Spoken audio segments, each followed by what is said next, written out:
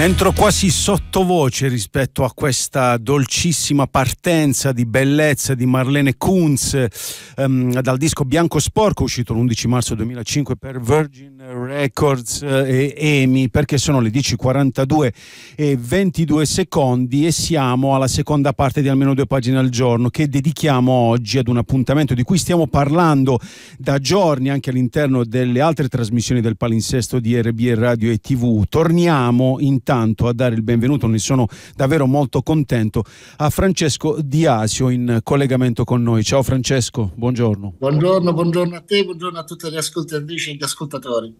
E allora, per chi ci segue ehm, con eh, costanza, diciamo, e con frequenza, sa che mh, mm, eh, prima di Natale abbiamo raccontato un libro che ci ha scaldato molto il cuore, insomma, abbiamo, eh, ci siamo molto appassionati a questo libro. Per chi ci guarda sul canale 87 del Digitale Terrestre, mh, anche sul nostro sito rbe.it ehm, Etere, storie di radio, antenne e frequenze dal mondo di Francesco Di Asio, pubblicato da Altra Economia con una bella copertina di Gianluca Costantini.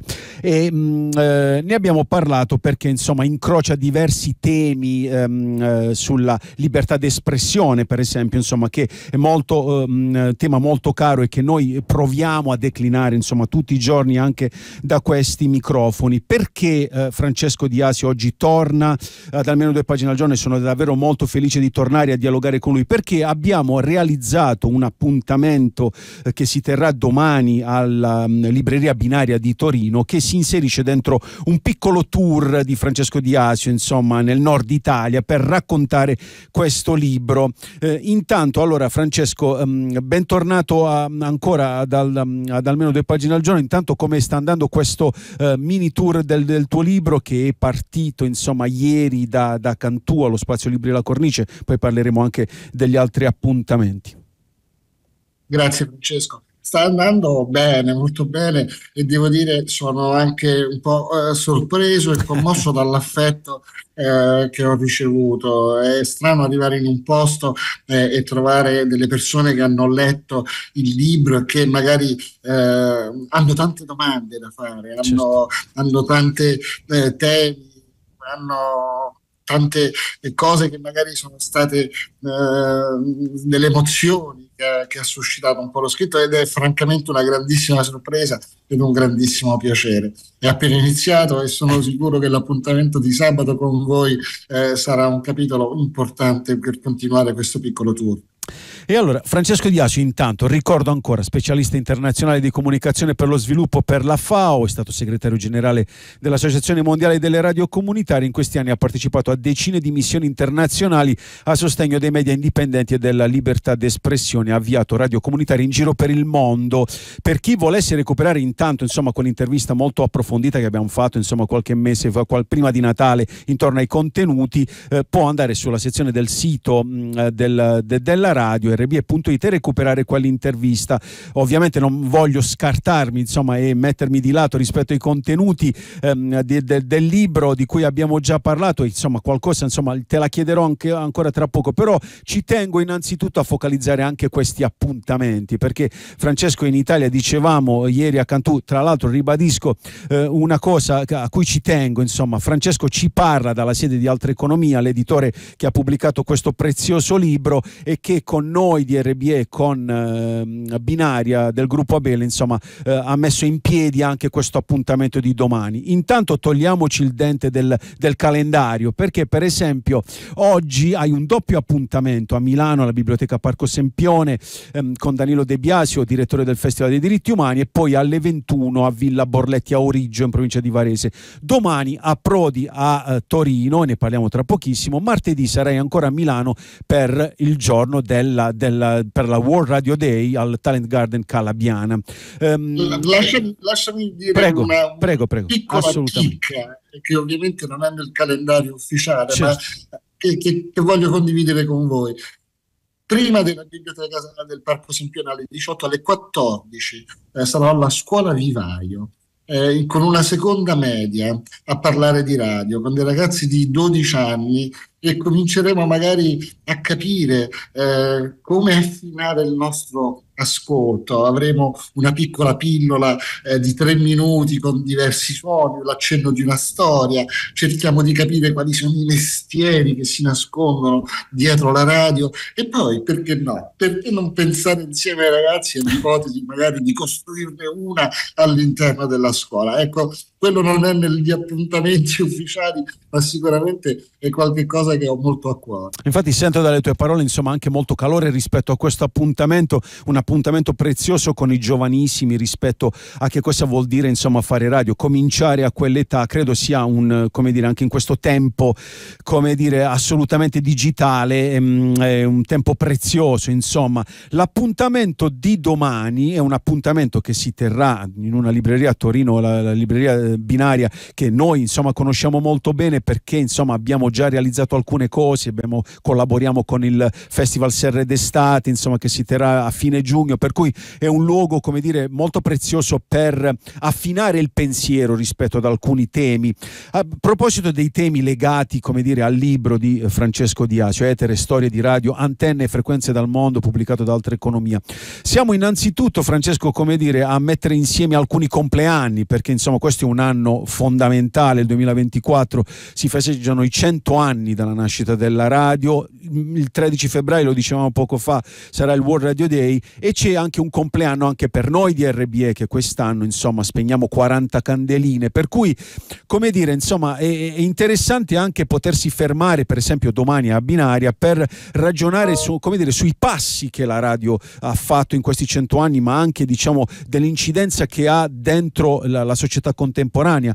Pensavo anche a quanto sia fondamentale anche per i paesi cosiddetti civili, insomma, la nostra Europa, insomma, parlare ancora oggi di libertà e democrazia, insomma, è molto spesso uh, assolutamente a rischio. Che ne pensi, Francesco?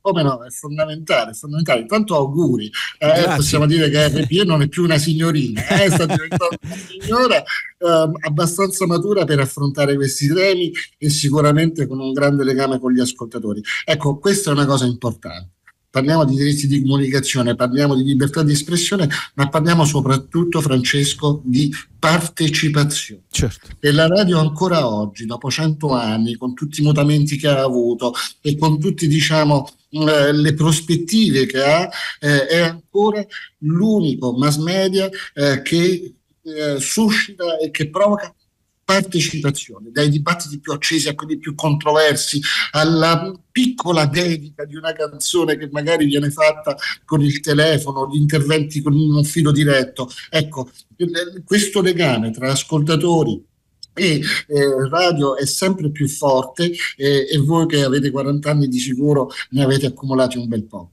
Complimenti. Grazie, grazie mille. Poi, insomma, i complimenti, eh, insomma, le tue parole ci, ci, ci, ci, fanno davvero molto piacere, ci scaldano il cuore e, come dire, ci confermano anche sul lavoro che facciamo tutti i giorni. Ma mi verrebbe da farti anche una domanda molto banale, perché, insomma, ehm, tu che conosci e che segui, come dire, eh, la vicenda, la vitalità, insomma, anche delle, delle radio, le radio comunitarie, le radio libere nel mondo. Insomma, oggi nel 2024, a cento anni dalla nascita di questo medium, qual è lo stato di salute? Salute della radio? Lo so che è una domanda forse impossibile, però eh. insomma qualcosa la possiamo dire, no?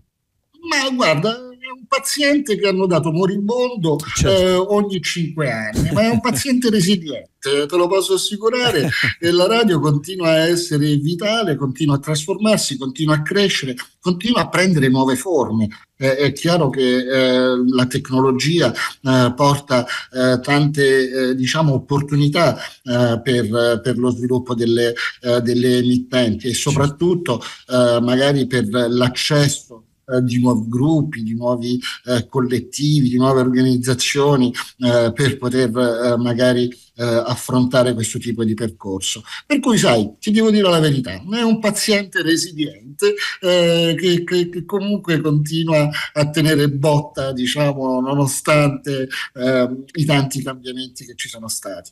Allora, diciamo che in questo caso, come dire, definire resiliente la radio, insomma, ci fa piacere, perché di solito viene usata anche un po' a sproposito questa definizione, quasi fino al fastidio. Ma, inta- ma, ma intanto, eh, Francesco, rispetto alle mh, al tuo lavoro, insomma, nel mondo, insomma, ci, ci, hai lavorato a piccole emittenti che in mezzo spesso al nulla sono riusciti, insomma, a costruire comunità di persone, perché l'elemento sul quale è, è importante forse ancora oggi, quasi sembrando inattuali, insomma, ehm, eh, si può focalizzare il lavoro, diciamo, di chi anche costruisce delle radio, è quello della costruzione di una comunità, insomma, poi tra poco vorrei chiederti anche eh, fare ancora una riflessione su, su, quello che sta succedendo per esempio mh, nella striscia di Gaza uh, adesso, però insomma intorno ad una comunità è possibile come dire consolidare um, una, un, uno strumento che, che parla diciamo alle menti, ai cuori e anche stimola come dire anche la reazione rispetto spesso a situazioni eh, assolutamente non democratiche no? Sì, sì, sì, è fondamentale ricordare questo ed è fondamentale anche ricordare un aspetto che magari a noi sembra quasi scontato. Eh, queste radio locali, queste radio eh, comunitarie, in realtà hanno una, un grande vantaggio rispetto agli altri media ed è del vantaggio di parlare la stessa lingua. Certo. La, io mi, mi, riferisco proprio alla lingua parlata, quella vera. Immaginiamo e sappiamo benissimo che in tantissimi paesi, in Africa come in America Latina o in Asia, spesso e volentieri le lingue ufficiali sono rimaste le lingue coloniali, parliamo del francese, dell'inglese esatto. o dello spagnolo, ma la lingua parlata sul territorio non è quella, è lo Swahili, è il Quechua, è il Mapundu, sono queste le lingue locali ed è questa l'identità culturale e la vicinanza che si sviluppa tra chi trasmette e chi ascolta. Sembra un elemento secondario, ma è una cosa importantissima perché su questa identità culturale poi dopo si costruisce la fiducia, si costruisce il dialogo e si costruisce quel percorso comune che fa di questa radio una radio comunitaria, dove c'è una comunità di ascoltatori e una comunità che partecipa attivamente alla vita della radio. Ecco, non dimentichiamo questo aspetto perché è veramente centrale il linguaggio, il vocabolario comune, insomma, la lingua comune, ma la lingua. la lingua comune, esatto. Poi volevo, come detto poco fa, insomma, se puoi darci degli elementi, insomma, la prima radio comunitaria, se non sbaglio, insomma, o la prima radio libera in, in Palestina l'avevate costruita tu e i tuoi collaboratori, se non sbaglio, ma cioè, più o meno, insomma, vedo insomma, che un po' con la testa, ehm, insomma, sei un po' titubante, però vorrei che ci raccontassi anche un po', nel senso che eh, oggi è praticamente, insomma, qui non voglio essere troppo mh, mm, pessimista, ma è praticamente impossibile raccontarla proprio da, da, da vicino, come dire, quella immane tragedia, o no, Francesco? No, è molto difficile, è molto difficile. C'era una bellissima esperienza che avevo incontrato ehm, che era chiaramente indipendente eh, dal tipo di lavoro che facevamo, ed era un emittente che si chiamava ehm, ehm, Radio, era, uh, All for Peace. All for certo. Peace, mh, mm, che era una radio con una doppia redazione palestinese e israeliana, che trasmetteva da eh, Gerusalemme e che ha trasmesso per tantissimi anni ed era proprio il caso emblematico diciamo, di una, un tipo di esperienza dove due gruppi di giornalisti con culture e con lingue diverse comunque riuscivano a stare sotto lo stesso tetto e trasmettere, se vogliamo, una linea editoriale che era chiaramente critica con una parte e con l'altra e incoraggiava al dialogo. Una, un'esperienza che purtroppo è finita, eh, ma ce n'è un'altra che è nata questa volta non a Gerusalemme ma a, a Ramallah, eh, che si chiama Radio 24 certo. eh, e che eh, raccoglie anche lei una, una doppia redazione. Noi con, con, i miei colleghi e con, uh, in partnership con una ONG di Firenze che si chiama COSPE, uh, con la quale abbiamo lavorato per tantissimi anni, avevamo messo su una radio nell'università di Birzeit eh, che si chiamava Radio Shabab, che Shabab vuol dire i giovani, eh, non va sem- associato sempre a Al-Shabaab, che è un gruppo diciamo armato um, che è purtroppo presente in tante parti eh, in Africa. Radio Shabab è stata una, una bellissima esperienza perché all'interno dell'università di Birzeit poi in realtà ha coinvolto eh, un'altra decina di eh, associazioni, da donne, giovani, eh, di, di, di, diversa natura, che partecipavano proprio alla programmazione dell'emittente e lavoravano tutti insieme. Ecco, anche quello, diciamo, è stato un esperimento importante perché chiusa quella stagione, quella stessa radio ha continuato a lavorare anche dopo i progetti per cui si è riusciti a garantire la sostenibilità nel tempo eh, di questa eh, esperienza e continua a trasmettere eh, in, eh, in, maniera regolare dalla, dalla, Palestina. Ecco, questi sono esperimenti eh, dove uno degli aspetti principali non è soltanto l'accesso, ovvero eh, questa è la macchina, queste sono le chiavi, vai e continua a navigare. Certo. No, è, è proprio la sostenibilità. Ed è questa la riflessione che va fatta ogni volta che ci sono dei progetti di cooperazione. Quanto sarà sostenibile questa iniziativa? Come possiamo lavorare insieme ai nostri colleghi per garantire che nel momento in cui un progetto finisce queste esperienze possano andare avanti? Il, e tutto il ragionamento sulla sostenibilità è chiaramente legato a quello che dicevamo prima, a una sostenibilità sociale prima che finanziaria, perché è solo con una sostenibilità sociale, con la comunità degli ascoltatori, che poi dopo si crea diciamo, una sostenibilità finanziaria che viene dopo. E questa sostenibilità poi dopo diventa in concreto la politica editoriale delle certo. emittenti, diventa quello che va in onda giorno dopo giorno, come riesci a fare quel servizio di interesse pubblico che poi dopo può essere veramente importante per i tuoi ascoltatori. Ecco, e queste sono esperienze che chiaramente mm, devono essere eh, ripetute e chissà se in una situazione come quella attuale adesso in Palestina eh, cose di questo tipo qui possano portare più dialogo e possano portare magari a un processo di pacificazione quantomeno tra le popolazioni prima che tra i governi. E allora questo, come tantissimi altri argomenti, saranno al centro della eh, conversazione, dell'incontro di domani pomeriggio, insomma, tra gli altri, con Francesco Di Asio. Io, insomma, sono onorato di poter conversare anche domani pomeriggio in presenza eh, con Francesco Di Asio al, mm, alla libreria al centro commensale binaria di Torino, in via Sestriere, a partire dalle 18.30 intorno a Etere, storie di radio, antenne e frequenze dal mondo di Francesco Di Asio Ignazio pubblicato da Altre Economia che con Binaria e con RBE ha realizzato questo appuntamento. Tra l'altro la copertina di Gianluca Costantini, disegnatore anche di campagne importanti come per Patrizacchi, se non sbaglio anche Ilaria Salis in questo, in questo momento. Francesco, intanto grazie per essere stato ancora grazie. qui con noi e ci vediamo domani allora. Grazie a voi, sì, con molto piacere. L'appuntamento è per domani alle 18, accorrete numerosi e chiaramente il dibattito continuerà su altri tipi di onde. Grazie Francesco, allora buona giornata a e a domani. Ancora un passaggio musicale, siamo a uh, Nora Jones. Ciao.